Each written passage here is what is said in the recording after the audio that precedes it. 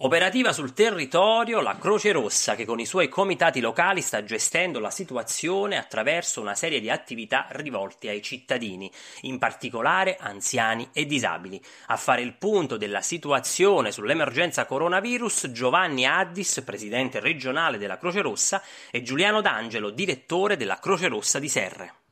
In Campania la Croce Rossa con i suoi 27 comitati territoriali sta eh, provvedendo all'assistenza degli, degli anziani con il pronto farmaco e l'assistenza sociosanitaria all'interno delle abitazioni, oltre che eh, al,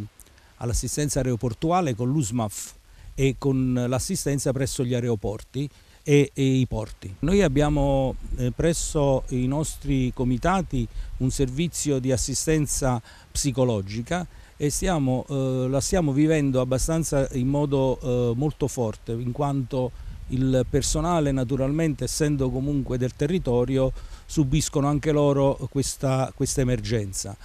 Eh, I volontari posso dire che con grande senso di sacrificio sia a livello regionale che nazionale l'hanno affrontata veramente in, eh, diciamo in modo eroico perché eh, quello che stanno facendo lo stanno facendo solo ed esclusivamente per eh, assistere i cittadini. In Campania diciamo che dobbiamo riscontrare molto spesso delle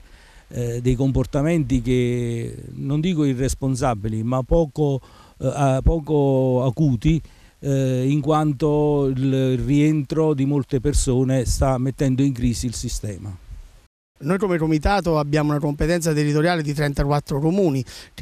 un po' tutta la Valle del Sele, il Tanaro, gli Alburni. Eh, nel caso specifico di, di, Altavilla dove stiamo qua, eh, noi avevamo già da qualche mese in atto fatto un servizio insieme all'amministrazione comunale che era quello praticamente un servizio eh, di, ehm, del farmaco pronto per le persone anziane e non abbiamo fatto altro che su questo territorio di estenderlo a, a tantissime persone che oggi rimangono, rimangono, in casa.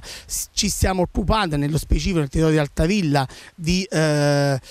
far rimanere in casa come dicevo le persone e quindi fare un servizio anche di, di pronto spesa, cioè ci rechiamo praticamente a casa di queste, di queste persone e, e, andiamo a fare la spesa al loro, al loro posto. Oltre a quello che è il supporto molto spesso eh, che ci viene richiesto anche telefonico un, sulle quelle che sono le regole buone che vanno adottate in questo momento e le informazioni proprio relative a quello che è il Covid-19.